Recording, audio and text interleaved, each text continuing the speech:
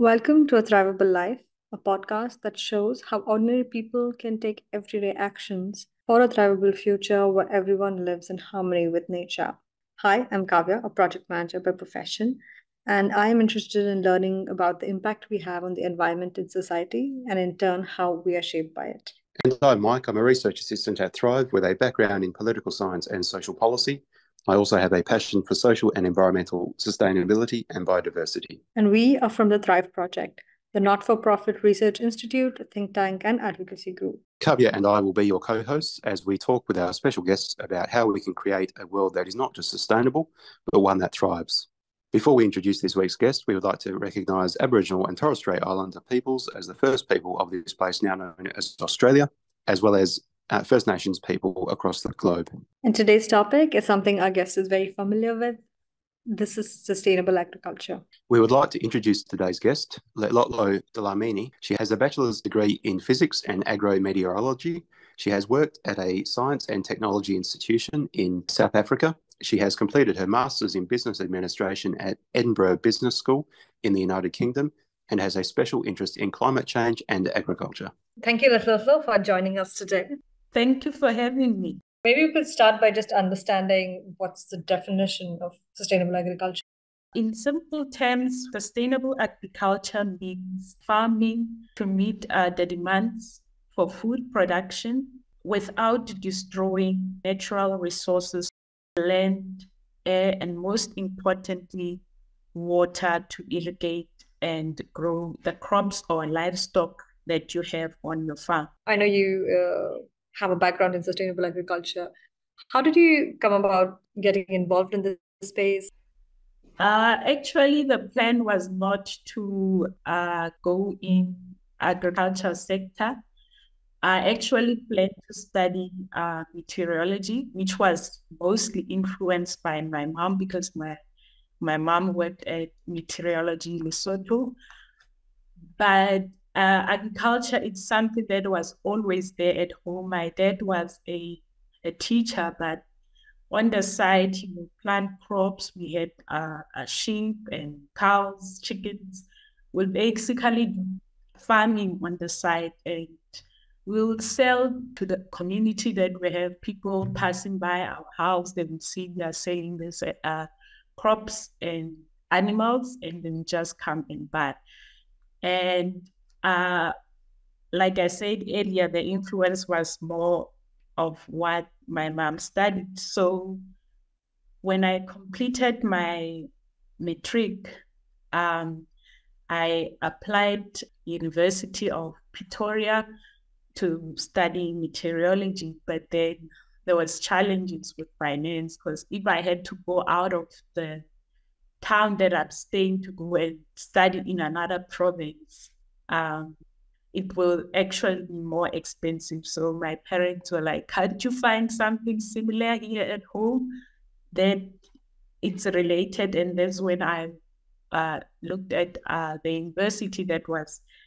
in my area I see that they offer agrometeorology. That's when I was like, ah, it's the same. I it's the same as studying meteorology. And at home we are doing farming, so I pursued agrometeorology that way. Yeah, sounds like a perfect blend of, you know, what you'd seen all your life and somehow happened uh, very coincidentally. Yes, it's basically my childhood. Everything was they influence most of my career. What do you see as the need for sustainable agriculture? Like, why do we need it, and what's kind of wrong with the ways? Uh, for at least quite some time, it's it's maybe industrially done, or it has been followed. I I think a sustainable agriculture, we have to ensure that we keep our we protect our resources. So, commercial farming it's good in a way that it provides uh, food to people, but now it also compromises on sustainability, compromises on uh, uh, uh, the environment. Now we have pollution and using machinery that requires fossil fuels. So if we can try to at least um, incorporate methods that are more sustainable, providing food, still providing food for people, but without impacting the environment. So I think it's important that uh, we we consider those factors, especially for commercial farmers. They are more on the commercial side of using more um, energy consuming uh, machinery. And so uh, it's important they also focus on uh, bringing that sustainability aspect in their farming practices. And you did mention about, I think, maybe it is challenging when you look at the way agriculture has been done until now, uh, in the sense that, uh, you know, commercial agriculture probably uses a lot more resources. And in cases where even, for example, forests are probably uh, being slowly removed uh, to promote certain products which are extremely high in demand. So in, in such a situation of you know extreme high demand and then uh, just the need for food increasing and variety of food increasing, uh, what are the different challenges that somebody who's trying to move into sustainable agriculture would probably face? Um, the challenges that I think I've noticed among farmers is um, lack of knowledge. A lot of farmers are not aware of what sustainable practices are for them to actually begin implementing that in their farming practices. And some of them, once they get the knowledge, now they are faced with a challenge of funding. How do I now get the money to get these uh, resources that are going to help me to produce enough food for people and uh, help me transition to uh, sustainable agriculture. So those are the challenges.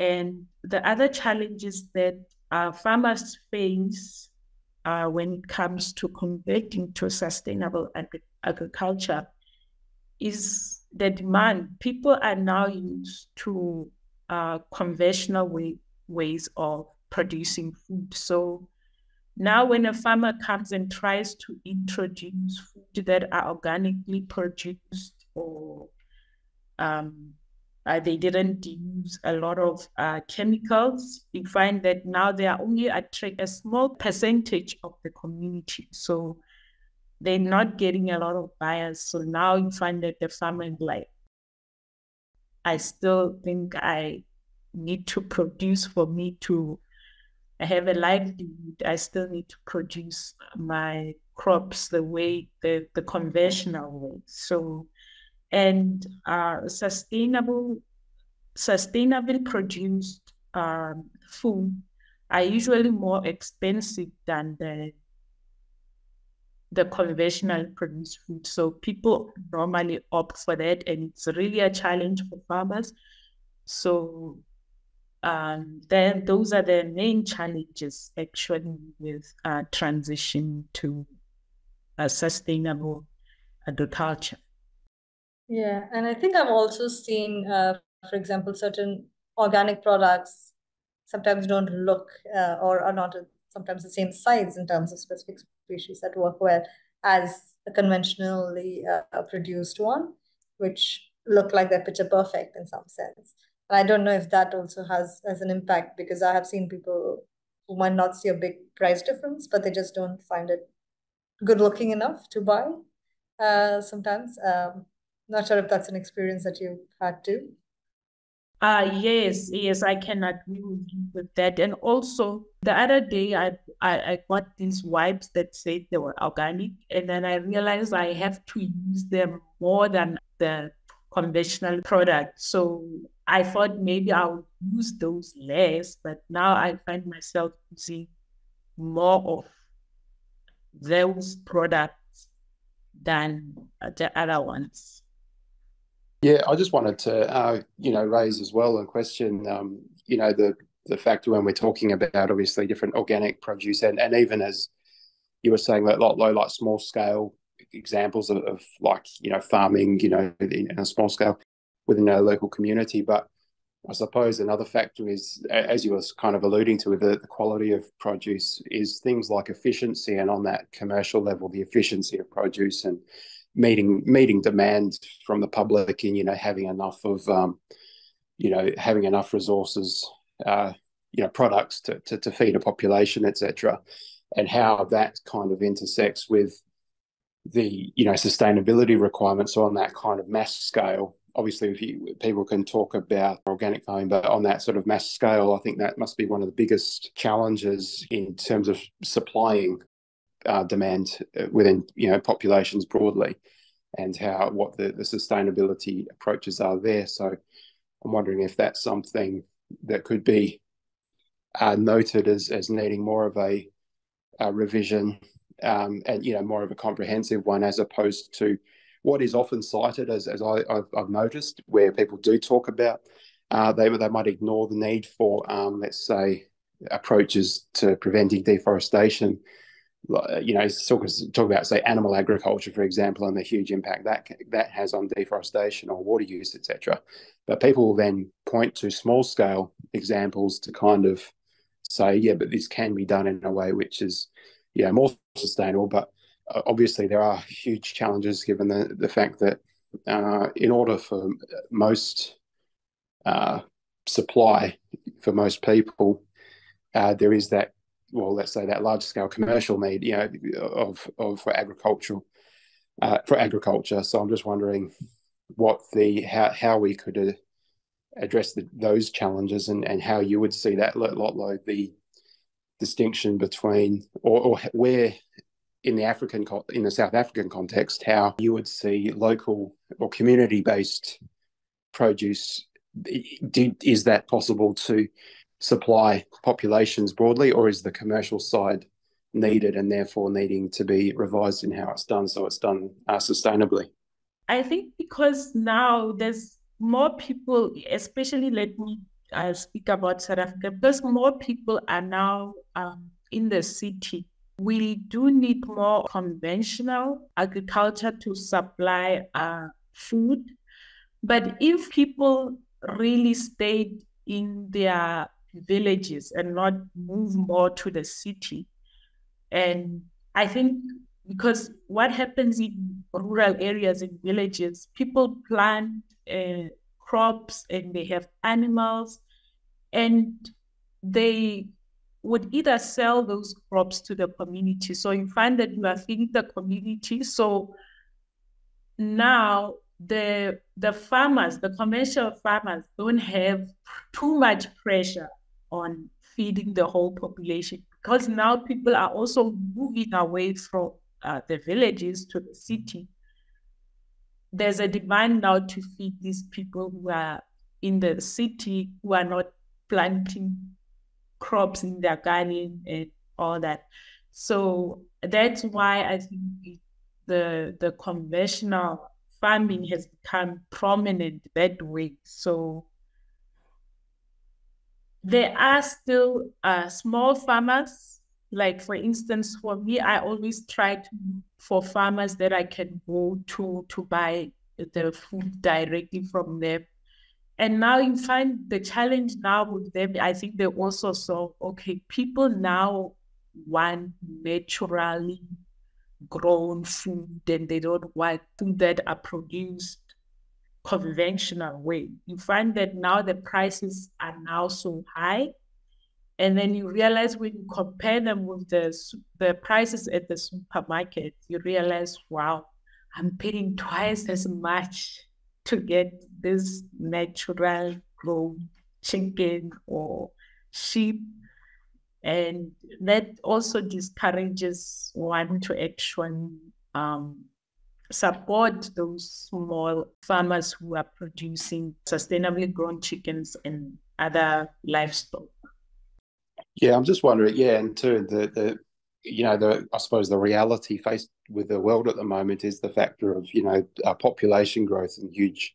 You know, we've got what over eight billion people on the planet now, and I suppose that comes into it as well. That uh, like historically, you know, thousands of years, you know, we've been able to live within sustainable parameters, obviously, but uh, with that population growth and supply of food products to to the population, there's obviously has to be some attempt at, uh, because of the huge scale of agriculture required, that it has to have that revised approach. And I think, obviously, yeah, so I suppose um, population is probably a big part of it. As you said, so many people are living in cities, but that too is um, you know just our human existence is generally has a big encroaching impact on the on the natural world. Yes. Yeah. On the demand side, I think that's one of the biggest challenges is having a market that's accepting organic uh, you know food and also just given standard of living uh, and just struggles with a bunch of crises we've had in the past I, I would say three to four years there is a you know cost attached to it. But there are other challenges as well that we spoke about for farmers. Uh, are there any solutions uh, maybe technological solutions that are actually helping organic and sustainable practices going forward? Uh, are there any examples that you want to share with us?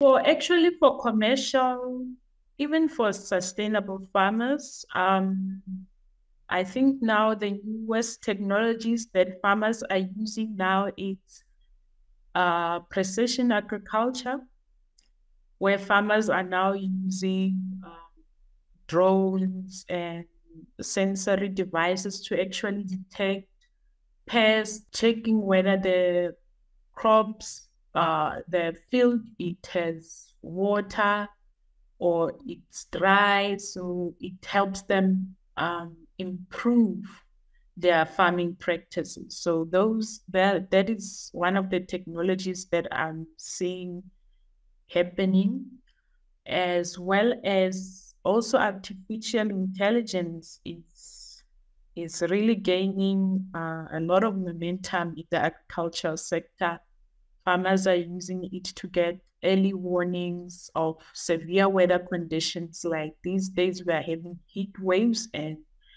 uh, most farmers are complaining that their crops are drying out. So, uh, artificial intelligence can help farmers with um, detecting severe weather conditions like droughts and floods, which normally are some of the factors that uh, influence farmers' production. And artificial intelligence, they can also determine the moisture content in the soil of the crops that they have planted, uh, whether there is enough water or less water. So it improves the improves the farmer's irrigation system. So the farmer will end up implementing smart irrigation systems that will let him know when to irrigate and when not to irrigate. So in that way, they are conserving water. So use water based on what the crop requires. So those are some of the technologies that are actually improving the agriculture sector. Yeah, I think I think that's great that that there are ways technology can uh, help, especially uh, today with digital technology moving at the pace that it is. Um, and are there any actual practices that the farmers do which which have changed uh, from a day-to-day perspective in the pursuit of being more sustainable? Uh, on one hand, like you said, is the use of technology to get certain data uh, or warning systems. Uh, but what have they probably changed uh, in how they do farming? Yes, there are other farming practices that uh, promotes sustainable agriculture, which requires farmers to use less uh, machinery, less energy. And these, um, for example, no-till practices, no tillage.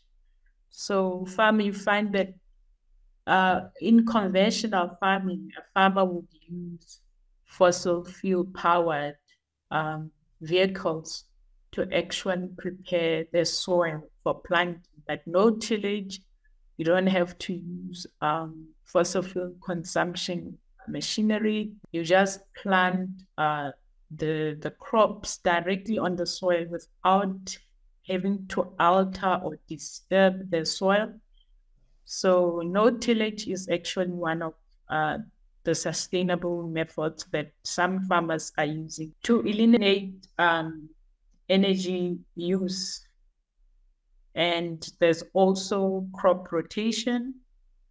Farmers, they basically plant crops uh, not at the same area or piece of land consecutively every year. So you find that where you have where the land where you initially planted uh, spinach, for example, you now change it, plant like uh, butternut, watermelon. So it also helps retain the um, soil health and not really affect the composition and the structure of the soil. Maybe while while you're at uh, talking about practices, um, we can um, mention how does having local products or market have any impact? Definitely, yes. Local products are actually good because you find that it takes a shorter time for to deliver these foods to the stores, to the retailers. So it takes quite a shorter time, and the food are fresher and it becomes less expensive. Local agriculture supporting it's actually uh, very sustainable and in some cases if you buy directly to the farmer you actually eliminate having to the farmer having to now package um, his uh, her product. So I think even my my dad, because he also uh, uh, supplies to one of the local stores, egg home. They don't use packaging like you see in big retail stores. Just just you know fasten it with a rubber band and done. It just saves a lot on uh, packaging material. Yeah, that's predominantly plastic in, in most places. It's it's quite insane. For example, when you see a banana wrapped in a plastic, which makes absolutely no sense, uh, no matter where I think it comes from. And I think one of the other impacts is I think we see that in terms of local products. Um, correct me if I'm wrong. Are there specific crops or you know way of farming that uh, promotes uh, more sustainable agriculture? Yeah, it's really uh, dependent on whether the crop can sustain the type of weather conditions. So farmers normally uh, they look at weather patterns and when they plan for farming in the next year, they see, okay, this year I might not, I don't think I should plant or some in some cases they don't know what the weather is going to be like. So but some of them have knowledge about how to mitigate on these severe weather conditions. So crops like maize where i come from in the free state they can uh, tolerate uh, drought they can tolerate heat heat waves is a big thing in south africa these days and sunflower, it's also one of the crops that um, can tolerate drought and heat. And there's other crops in other parts of the world like wheat. I think even in Lesotho, wheat and beans, they do well in those conditions. So, and um, yes, and uh, like I said earlier, farming systems like crop, crop rotation helps because if you are planting the same uh, crop every year, it, you might find that uh, it's not going to survive on this year's weather conditions. So when you rotate your crops and not plant the same thing, the crop might do well. And farmers can also try to farm other crops that they haven't farmed before because you don't know how they will do in the type of soil your your farm is or the type of weather that uh, will be there. Yes. Yeah. I just wanted to briefly add to that, and I'm, I just wanted to, yeah, briefly add. I'm not, I'm certainly not an expert in, in agricultural sustainability, but yeah, one one interesting innovation I'm aware of, as Lotlo was mentioning about uh, new crops, was uh, or new, you know, approaches was the um, phenomena, recent phenomena of seaweed farming, and just seeing how that has extraordinary uh, potential, at least because there isn't that requirement for fertilizer or water use, you know, for it to grow, and it does uh, have many uses, including to supplement plastic you know bags you know it can, it can be a plastic use as well as food a food source uh, for, for different additives as well as protein but also um, it is a huge um, carbon you know source of uh, carbon sequestration. So it's really it's good for climate the climate and mitigating climate change as well. So that's probably another just a little interesting point i thought to, to mention that um, going forward you wonder to what extent that will be uh, embraced, given that it has a completely different uh, sort of output and um, way of being produced than, than, most traditional agriculture, obviously on land anyway. Yeah, yeah. I think, yeah, beyond land agriculture, there's also other other things that we could probably grow. What is needed uh, to promote sustainable agriculture? For me, what I think uh, consumers can do really to contribute to sustainable agriculture. Firstly, they should um, focus on eating what is in season, buying what is in season. That way, we do not put too much pressure on the resources. In fact, we do not put too much pressure on farmers to produce uh, crops that are not in season. And that also helps the farmer to not put too much pressures on the resources because now they have to produce crops that are not in season because people now want. If people can just eat what is in season and rotate crops like that, I think it will contribute to sustainable agriculture and won't have to put too much pressure on our resources. Yeah, and I would probably just yeah mention um, obviously being just being the consumer to be aware of of you know the the impact that um, some some agriculture can have on the ecosystem broadly, and um, yeah to try and yeah, choose sustainably. Obviously, plant based approaches is helpful, but yeah, to choose uh, sustainably broadly, just to be aware of things like water use as well. Yeah, and as well as particular particular businesses which might not be sustainable um, in their in their uh, operations as well.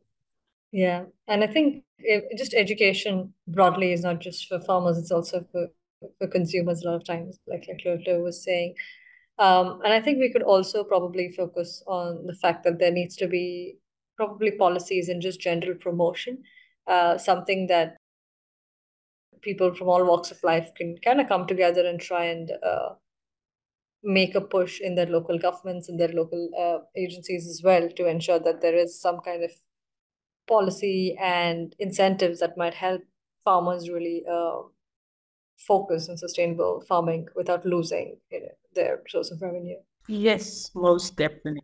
Yeah, and I think it's also important. I remember a study particularly showing how incentivizing uh, farmers and, and having uh, proper yeah policy guidance by governments for for uh, you know moving towards more sustainable farming, and particularly where it's particularly uh, the, the, current practices might be particularly bad, but there does need to be leadership from governments and less um, sort of governments adhering to uh, short-term economic profits or you know uh, GDP short-term benefits and looking more to the future of sustainability and, and guiding both farmers and and consumers alike in, in that way. And and the people uh, people within the community the consumers putting pressure on governments uh, to do so and to look at what is sustainable farming and what isn't and to put pressure on governments to lead in that way to to make it easy, easier for that transition. Yes. Thank you so much. I definitely learned a lot.